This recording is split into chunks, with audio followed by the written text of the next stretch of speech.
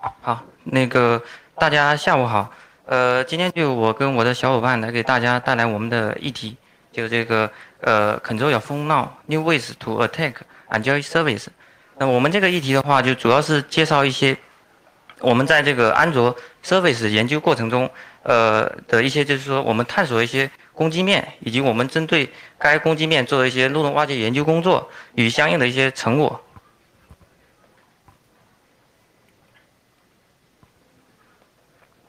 呃，首先先简单的介绍一下我们自己。呃，那我是叫曲和，那现在是这个呃蚂蚁金服巴斯光年的一个安全专家。呃，然后我的这个小伙伴就是陈耀光，现在是这个巴斯光年安全实验室的安全研究员，呃，也是一个 CDF 爱好者。呃，我们的话主要是呃，就是说聚焦一些这个移动安全，还有这些漏洞挖掘相关的。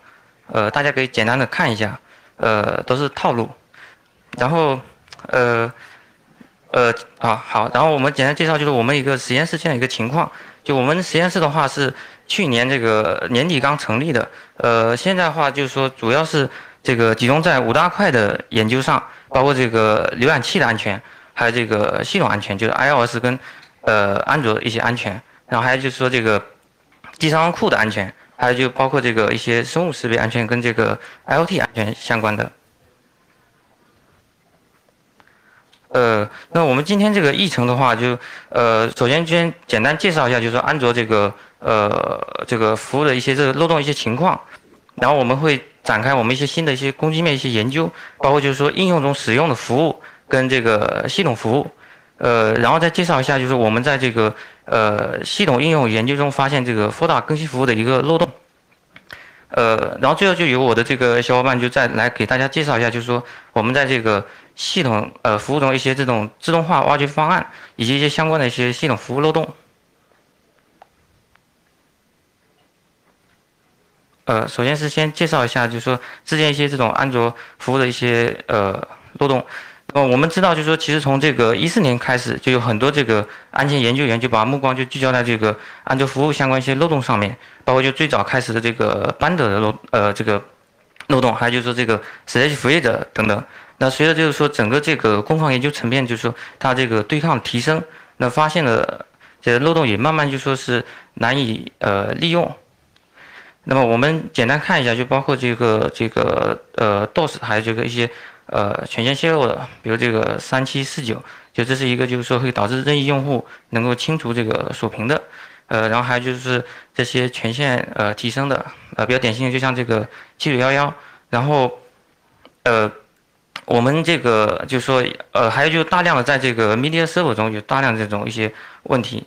那当然就是这些这些的话，就相对来说还是呃，包括就是有一些这种 media server 中还是很多是比较难以利用的。呃，那我们就简单的这个看一下，就是说，呃，现在这个呃这个 media 服务相关一些漏洞，那我们简单说说一下，呃，基本上就是说这个数量还是非常多的。那我简单就说用这个，呃，计算一下，大概也有这个几十个。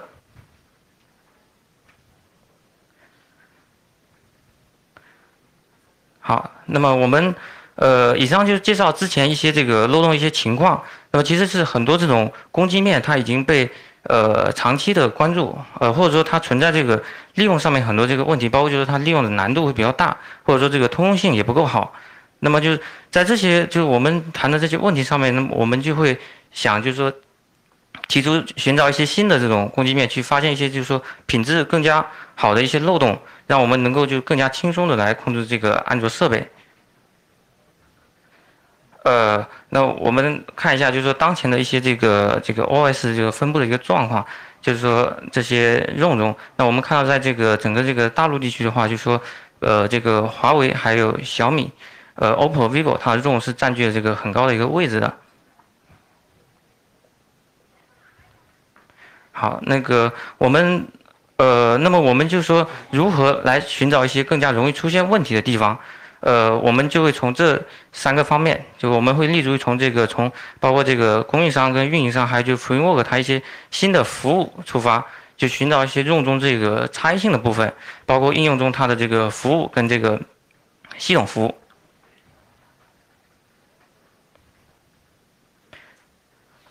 呃，那么在厂商定制代码这一块中，呃，我们首先就先从这个应用中它使用这种服务呃来着手。那我们大致的就分成这三类的这个呃应用，就呃一类是这个 system 的应用，还有一些类似这个 platform 的，还有一些是这个不可信的应用。那么在这三类应用中的话，我们是着重关注的是这种 system 的这种应用，因为它本身它是就是说它呃至少说它是能够就是具备这种 system 的一个权限。那这样子的话，就是我们比较关注的一些对象。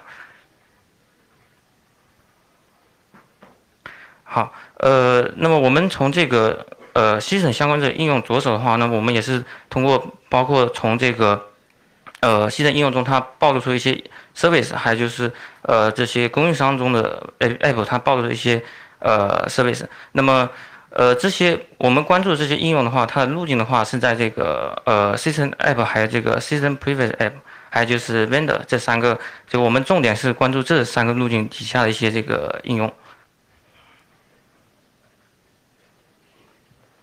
好，呃我们在上面就。呃，简单说的是这个应用服务它可能的一些这种问题。那么还有就是说系统服务它本身也是有很多这个呃需要我们去关注的一些面的。呃，那么从这个功能上来说，我们可以就是简单的就是说呃分成三大类的。呃，一类就是说这个启动阶段的一些关键服务，包括这个呃比如说这个 Active Manager，就是一些这种启动。阶段一些关键的服务，还有就是这个呃系统核心的服务，比如这个 Beta 这个 Service，那么还有就一些这种呃定制的一些服务，呃这是从从这个功能上面来做的一些区分。那么从代码上面，我们就可以呃相对归类成这个 Native 的一些这种系统服务，还有就是说这个呃 Java 的一些系统服务。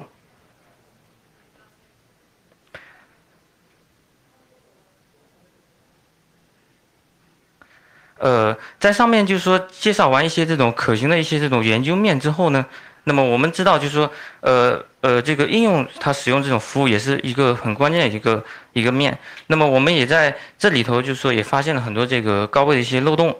呃，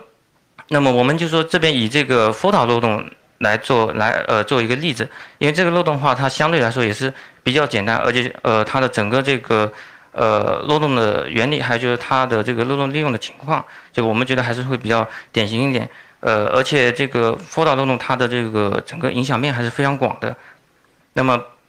呃，我们以这个 for 服务的这个漏洞为例，就介绍一下，就是在做这个应用服务这些研究过程中发现的这些漏洞攻击面，以及如何来进行这个分析的一些事情。呃，我们目标就是说要至少获取，至少就是说这个 system 权限。那么我们必须要具备，呃，就是说从一些具备这种能力的一些应用中来入手，呃，那么哪一些就是比较这个典型的？那么我们呃，我们今天就说的这个 f o t a 这个服务的话，它是相对来说呃比较具备这样一个特质的。呃，那么这个 f o t a 服务的话，就呃可能就是还是有很多人还是知道，就是它是一个这种固件更新的一个服务。呃，它主要就是说用在这个包括这个一些 IoT 的设备，还有一些这个手机设备中都是广泛使用的。因为它的这个呃，尤其是我们在做一些这种无线更新或者呃，就是通过这个 FOTA 这种机制的话，是呃是能够达到我们的一个需求的。那么在这个这个 FOTA 服务在这个手机中的一个情况的话，就这个 FOTA 服务它呃基本上就是它具备这个呃如下一些这种。特点就是，呃，如下一些这种特性，就是说它，呃，能够就是说我们在做一些这个修复一些这个 bug 的时候，呃，或者说在允许这个手机它远程安装这个新的一些这种软件更新，呃，或者一些新的一些服务的时候，那是非常呃，在手机就是说智能手机里头，它是一个非常必要一个呃 service。那么这因为它的这些特性的话，那么它至少就是说在很多这种 room 里头，它还是会给它一个这种至少一个 system 的一个权限的。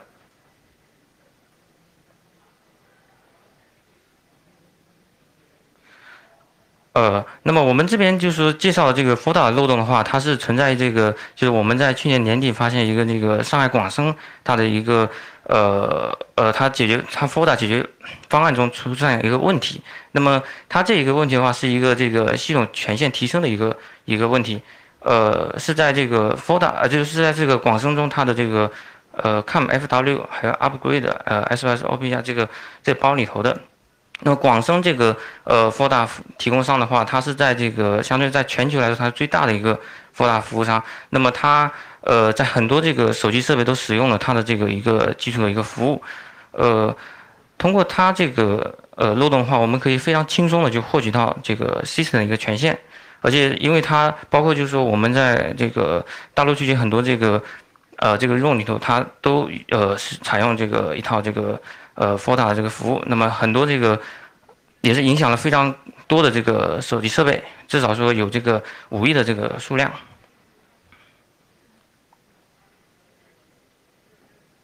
呃，那么我们在报在发现这个漏洞之后呢，我们也是呃，就是说第一时间向这个广深这个呃提供，就是说这个服这个 f o d a 服务提供商，我们报这个漏洞，那么他也是在他的官网里头对我们这个巴斯光电安全实验室做了一个这个就是说一个感谢。那么因为他的这个。影响面还是非常广，而且它这个整体的这个呃利用也是非常简单。那么我们再把这个漏洞报告给这个 Google，那 Google 呃安卓官方也是对我们这做出一个致谢，就是呃同时这个呃也分配一个 CV 号，就是 CV 二零一七呃零五二二。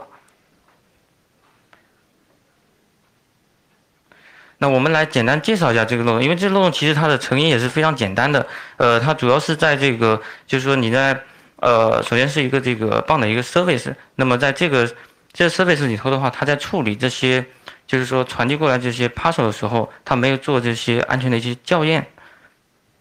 呃，然后直接在这个呃后面的话，直接会用一个 process build，然后直接来执行这个呃你传递过来的一些这个参数，所以说它整体是一个还是一个比较呃简单易用的一个漏洞。那么这个漏洞的话，就是说我们，呃，我们首先要看到就是它的这个，就是它这个，呃，app 中，它至少说你必须要具备这个需要 user ID，就是呃 system 的一个权限，那么它才能够就是说以这个 system 的这种来执行命令，然后从而就说这个能够达到一定这种提权的一个目的。呃，那么。那么我们来简单介绍，就是因为它这个漏洞的话，它的成因还是比较简单的，而且它的这个整体的，就是我们要使用它来做一些，包括我们比如说，呃，来执行一些安装应用的一些这个命令，或者说呃一些卸载应用命令都是非常容易做到的。那么这当然这也是就是我们发现这些应用中它存在这些。呃，就是系统应用中存在这些漏洞的一些模式，就是在在呃在我们之前就是说描述的过程中，它其实是说我们是通过一呃这样的一种方式来寻找这种相关的一些漏洞。就我们要首先就是要找到这一类型的一些呃比较高位的一些这种可能存在问题的一些服务。那么我们这边的话就是也是找到就是说这个呃这个广深这个这个服务这个服务里头它是。存在这个问题的，而且它没有进行这个权限校验，那并且它是呃使用这个 parcel 来传递的一个呃这个传递一些这种呃参数，那么这个也是我们可控的。那后面的话就是说，它又执行了这个通过这个 process build 来呃启呃启动一个这个就是创建一个进程来执行这个命令。那么这个呃就是说这个整个一个过程的话，也是我们就是说寻找这些呃漏洞一些模式。呃，那么也是，呃，上面的话也是通过一个简单的这种应用中使用这种服务，它产生一个这个高危的漏洞，来简单说明一下我们之前的一些在发现这类问题中的一些想法。呃，那么后面的话就是说，呃，我前面介绍这部分主要是，呃，相对来说一个这个大范就是范围，呃，比较全面介绍一下。那么后面的话，我们呃由我的这个小伙伴就是陈耀光。同学来介绍一下，就是我们在这个 system 服务上一些自动化挖掘方案跟一些这个漏洞一些成果。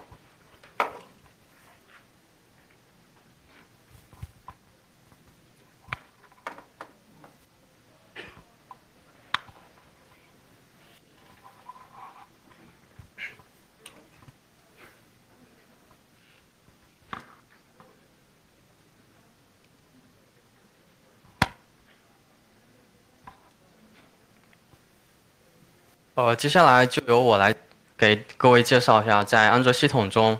呃，如何去攻击安卓的系统服务。呃，这张图是呃谷歌 Pixel 和三星 S8 中系统服务的一个数量的比较。可以看到，在 Pixel 中，呃，系统服务只有一百多个，而在三星 S8 中，系统服务都达两百多个。也就是说，呃，第三方厂商，呃，在谷歌原生 ROM 中添加了很多的代码，尤其是在 System 中，呃，其实不仅仅是添加了很多 System 的服务，呃，第三方 ROM 厂商通常也会去修改已有的一些服务，去满足一些特定的功能和需求。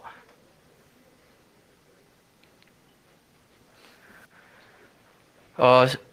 在 System 呃 System Service 是运行在 System Server 的上下文之中，而 System 是在安卓系统中最接近 root 的一种用户。呃，虽然说 SE Linux 呃切断了很多的这个攻击面，但是 System Service System Server 的权限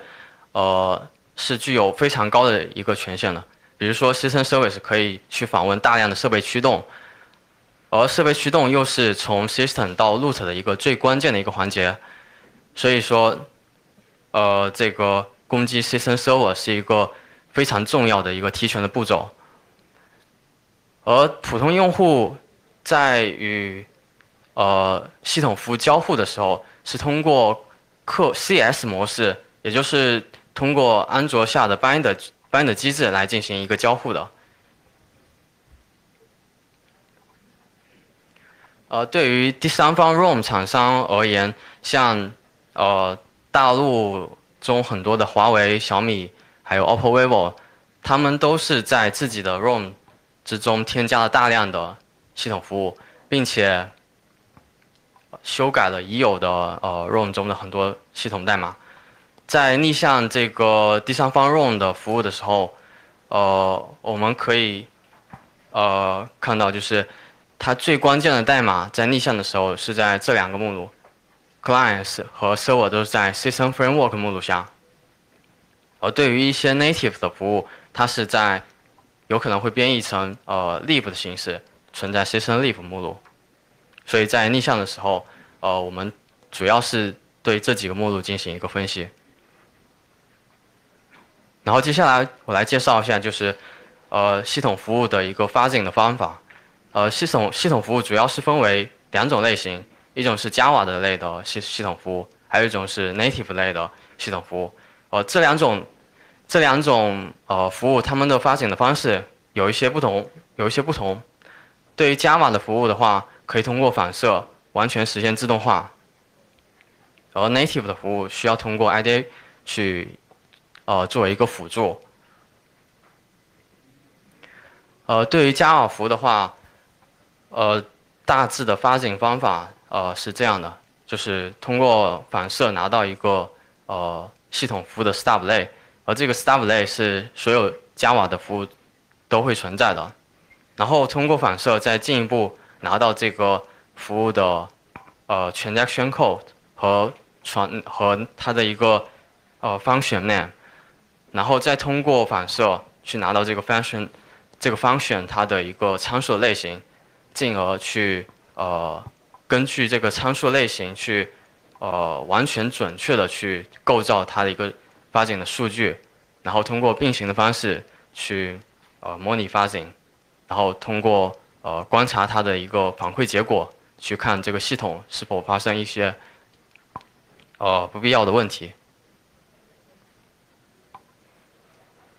呃，具体而言的话，对于呃 Java 服务中，它的一个变量是通过 transaction 下划线加上一个 function name 和一个 math name，而这个变量它的值是其实就是那个 transaction code，所以根据它的变量名，我既能够得到它的一个函数，所这个呃变量它对应的一个函数，也能得到呃它的一个 transaction code。对于呃，对于获取方法名的话，也就是根据刚才说的它的那个变量，它的那个方法名，然后取取它的后后半部分，就能打呃得到它的那个函数的名，呃函数的名字。呃，由于全全家宣扣它的变量类型一定是 int 型，所以通过反射呃固定去获取它变量中的 int 类型的数据。就能够呃知道所有的 transaction code 的呃数据。而对于 native 图务，由于不能通过反射，所以呃可以通过 IDA-Pattern 去呃提取它的一个 transaction code，也可以通过 IDA-Pattern 去获取它的一个参数类型。呃，当然如果嫌麻麻烦的话，也可以通过就是随机的产生这两个数据去进行 fuzzing。呃，由于在安卓中没有没有一种机制去主动的。呃，去校验这个系统服务执行的一个权限，所以在这个系统服务中，呃，缺少校验是一个非常大的一个攻击面，所以而系统服务是大量存在于呃各个 ROM 厂商中的，所以也就造成这个系统服务啊是整个安卓系统中一个非常重要的攻击面。呃，通过。上呃刚才说的一个发现的框架，我们发现了挺多漏洞的，呃，尤其是在第三方 ROM 厂商之中，我们发现了非常多的安全问题。然后接下来我会介绍一下，简单介绍一下，呃，系统服务中的一些我们之前发现一些比较有意思的问题。呃，这个是一个第三方 ROM 厂商中。我们通过发展框架去，呃，获取到的一些比较敏感的一些数据，它的一个系某一个系统调用的一个呃那个代码，呃，可以看到里面有一个比较有意思的函数名 setMainForBitPackage，这个函数它是提供一个呃可以设置一个 list，那这个 list 是什么用？是呃有什么作用呢？通过逆向，我们可以发现，原来是这个 ROM 厂商在 start activity 的时候，他会去获取这个 list，在这个 list 中去呃呃比较这个，其实就是相当于一个黑名单的作用。如果某一个包名是在这个 list 中，那在 start activity 的时候就会拒绝，这也就导致，这也就导致。这也就导致能够禁止任意的程序 start activity，并且这个函数是没有系统校验的，没有安全校验的，就是任意的用户都能够去调用这个系统服务。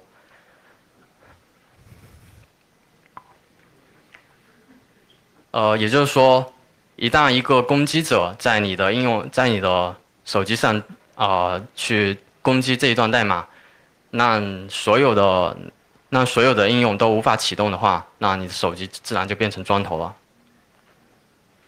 然后接下来简单说一下，就我们之前发现的在 native 服务中的一些问题。啊，由于这个呃这个漏洞是呃在某一个厂商中它的一个呃 native 服务中一个就是越界组合越界写的问题，然后进而能够转换成 C 层 server 中的任意代码执行。呃，当然这个问题我们现在。呃，还在修复中，所以细节暂时不能公开。但是我们会介绍一下，在利用的过程中，在提升到 System Server 的过程之中遇到的一些问题，或者说可能需要注意的一些点。在 System Server 中会有十六个 Binder 子线程去处理所有的系统服务，系统系统服务，而每一次在呃处理的时候会随机选一个子线程进行处理。哦，这也就导致堆利用在 System Server 中是比较难实现的，因为每一次很难去布局它的堆分水。呃，解决方法可以看 Old Fresher 之前的一篇 paper，呃，就是想办法去挂起其他的一些线，其他的班的线程，只保留一个 System Server 线程。虽然说。呃，系统服务它有些很多系统服务是从 System Server 是从 Jago fork 出来的，但是它并不代表完全没有系统那个地址随机化，因为有一些 native 的呃库，它是在 fork 之后才加载的。对于这一部分的 native 服务，它仍然是含有地址随机化，所以对于这份代码，我们必须要找到信息泄露的问题，才可以去 bypass 它的它的地址随机化。然后在呃加载的 S O S O S O 库中，它仍然会存在一种另外一种地址随机化，也就是也就是 S O 之间它的加载顺序以及它的加载空隙是有随机化的，所以在利用的时候，我们必须要考虑就是如何去呃如何去获取它的 S O 库的机制。然后在 S O 库之间，他们会有一些 gap，而这些 gap 是不可读、不可写、也不可执行的。呃，这一个区这些区域，它的目的就是防止连续的越界。所以说，呃，对于连续的越界的漏洞的话，呃，也很难通过去覆盖大片的地址获得那个代码执行权限。所以它解决方法其实也是要找到一个比较。好的那个那个信息泄露，或者说去泄露一个就是没有随机化的那一部分地址的呃库的代码。呃，总结一下，就是对于系统服务的问题的话，第三方，尤其是 ROM 厂商一定要去注意呃那个校验的问题，因为攻击者可能是一个普通的用户。但是系系统服务它是具有非常高的权限的，所以一旦没有去校验这个呃调用者他的身份的话，很容易就出现这个这个安全问题。然后最后就是呃我们今天的演讲，就谢谢大家。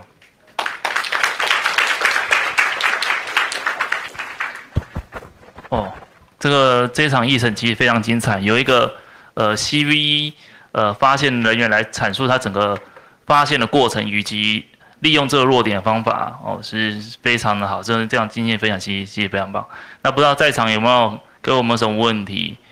可以可以跟讲师讨论的